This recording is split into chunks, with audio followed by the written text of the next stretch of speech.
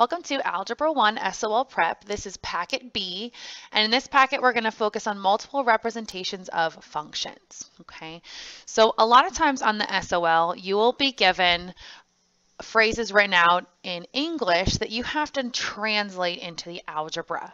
So we're going to give you some examples here. This is not all of them, but this is some of the ones you might see.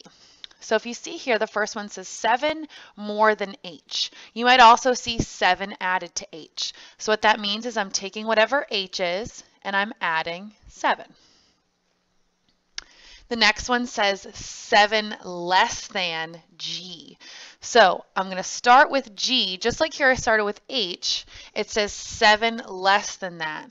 So I'm going to do g minus 7. These can get a little bit confusing because we have the 7 first. Sometimes we're tempted to do 7 minus g. But if you see less than subtracted from, those two mean the same thing.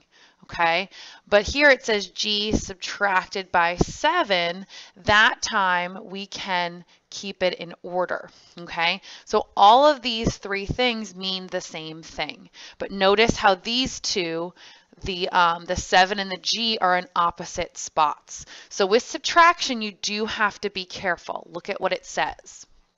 The next one says the square of a number. So when we see number, we like to usually use n. And square means we're going to square it. So we're going to put a little exponent of 2. The next one says the sum of, if we have the sum of x and 5, we are adding together x plus 5 the product of 3 and x, we can just write 3x. Okay. The quotient of 6 and x.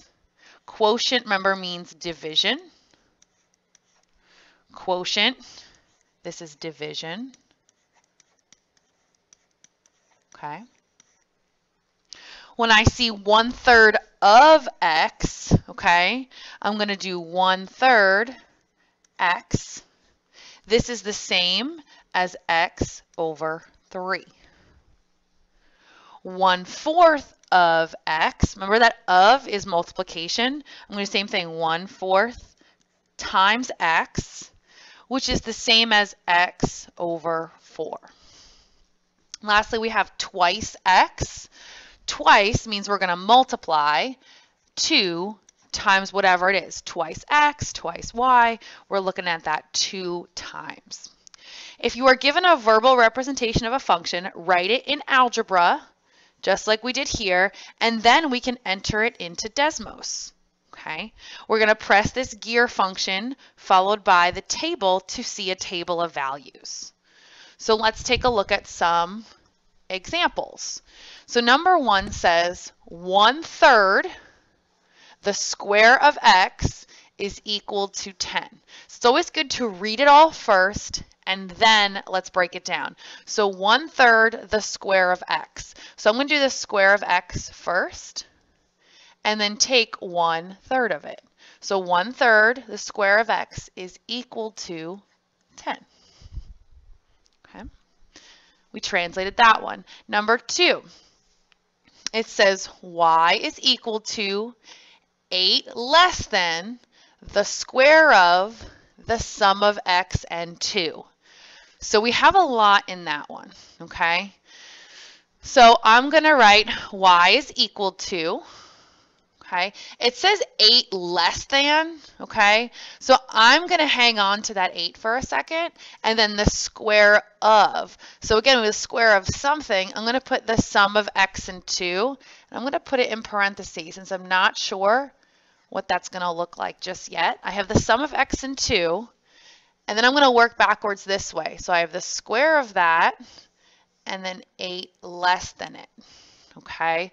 So this is y is equal to 8 less than the square of the sum of x and 2. So that one can be kind of tricky. Number three, which table represents the function 5 more than 1 half the square of x is equal to y, okay? So again, when I have five more than, kind of like my eight less, and I'm going to wait a second. One half of, what am I one half of yet? The square of, again, at a square of x, I mean one half, the square of x, is equal to y. So the square of x I'm going to write first. Then I'm going to take one half of it, and it's five more than that. Okay, is equal to y. Okay. Sometimes we don't like to have y on this side, so you can write that to say y equals 1 half x squared plus 5. Okay. And now we want to know which one of these tables matches that. So you can go ahead and pull up Desmos, and we're going to type in, pull up our keyboard here, y equals, we have 1 half, okay, arrow out of the bottom, x squared plus 5. Okay, so we've got our picture here. This is our graph. Sometimes I'll ask for the graph. This one wants the table. So I'm going to click the gear. It says edit list. Look in my list here, and I want to see which one of these tables matches this one.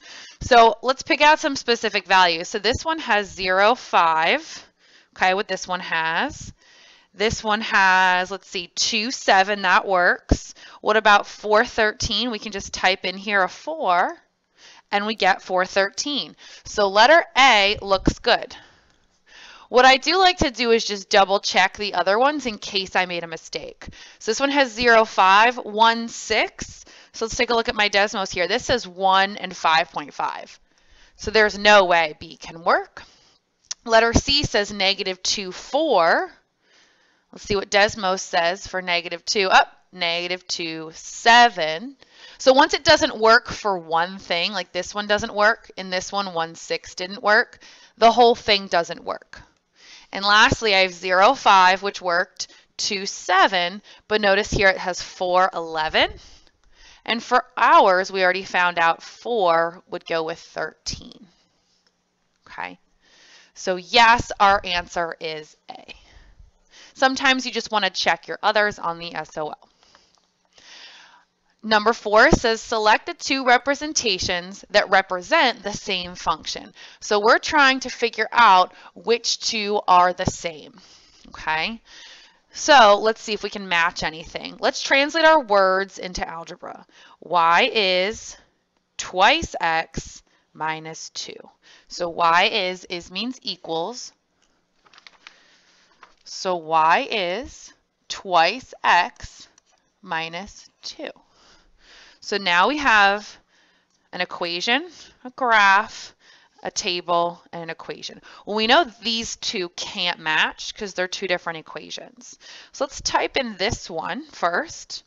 We can come back to our Desmos. Let's X out and type in the one that we got. So y equals 2x minus 2. Okay. And let's go ahead and look at our table because we have a table there. So the ones in the table say 0, negative 2, so that matches. 1, 0, so that matches. And then it also wants 3, 4. So let's see if I type in 3, up, oh, I get 3, 4. So it looks like this one matches with this one. Let's just double check to make sure we didn't make an error. So if we look at this graph here, and we look at my graph, okay, I see I have a y-intercept of negative 2 and a slope of up 2 over 1, up 2 over 1. So this one, up, I have a y-intercept down here at negative 3. So that one's not going to match. And this one here, if I look at my, if I look here with this graph, y equals 3x minus 1, if I just type it into C, y equals 3x minus 1. Okay, again, looking at that graph, it does not match that graph. I've got a y-intercept of 3 and a slope of about a third there. Okay, up 1. We have a slope of 3 for this one. So that one's not going to match anything either, okay? So these two are my ones that match. So for these, there's a little bit of guess and check there. Um, the main thing you want to do is translate into an equation so that way it can help you match two things together. Okay, we've reached the end of our video here. Now it's your turn. Work on the practice problems on the next page.